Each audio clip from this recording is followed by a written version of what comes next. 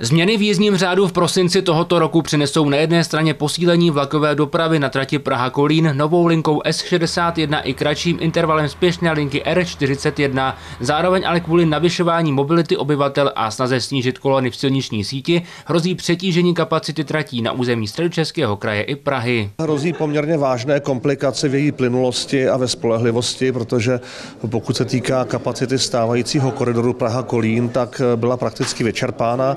Když to všechno sečteme, tak se skutečně dostaneme do stavu, kdy fyzická infrastruktura už nebude stíhat poptávce po dopravě. Nejde ale o záležitost poslední doby, ale několika předchozích let, kdy stát v tomto ohledu zaspal a situaci nedokázal řešit včas. Na tenhle ten problém se tedy zadělávalo minimálně 20 let.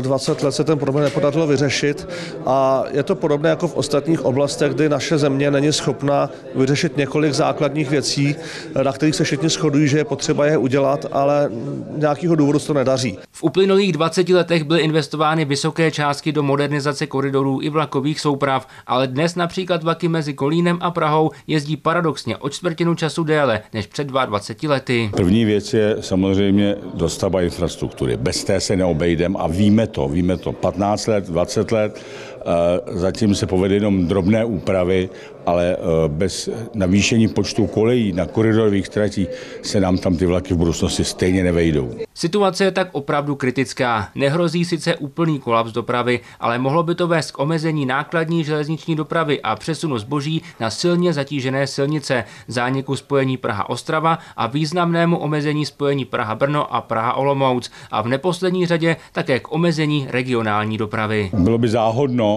aby všechny zúčastněné strany, to znamená pod vedením zprávy železnic, obstarali finance, obstarali stavební kapacity, provedli všechna nezbytná řízení a zahájili výstavbu dalších tratí.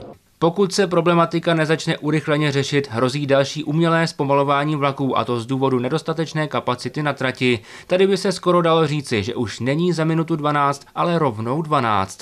Ondřej Švec, Televize Praha.